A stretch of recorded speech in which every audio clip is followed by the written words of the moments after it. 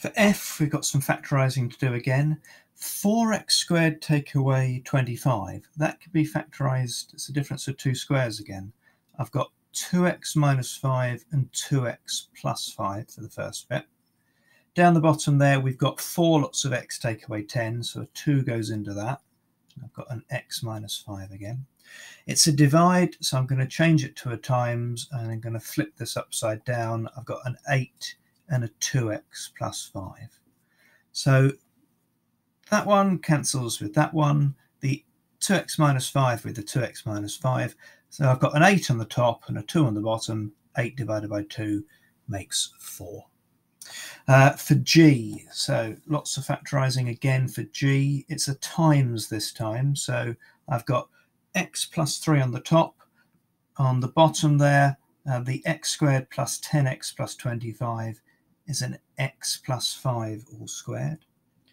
Uh, on the top there, I've got x squared time plus 5x, so cancelling out the x, sorry, factorising out the x for that one there. And again, the same on the bottom. There's an x and, and an x plus 3 there.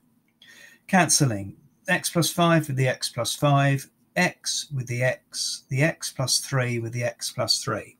So be a bit careful here. The answer isn't x plus 5 because the x plus 5 is on the bottom. So it's 1 over x plus 5 as the answer for G. For H, I've got 3y squared. Now, this is where the people that have struggled to factorize um, have got an issue. So it's 3y squared plus 4y minus 4. Uh, and that will factorize to 3y minus 2 and y plus 2. On the bottom of that one, I've got a 10 and I'm timesing by flipping this one upside down 15 over 3 lots of y plus 2.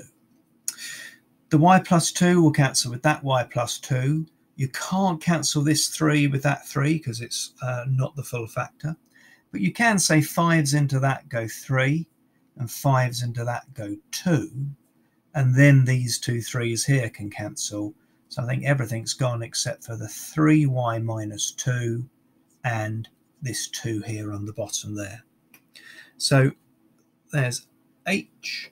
And the last one we've got then. So the last one is um, a bit of factorizing on the top here. So we've got x plus y all squared actually. x plus y times x plus y over 2 times by 4 over and I'm going to write x minus y, x minus y there.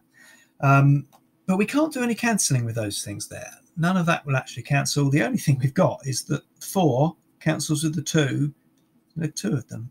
So my answer here is 2 x plus y all squared. I'm just going to put that as a squared. And x minus y all squared there. Don't consider cancelling these squareds because, of course, these are different brackets.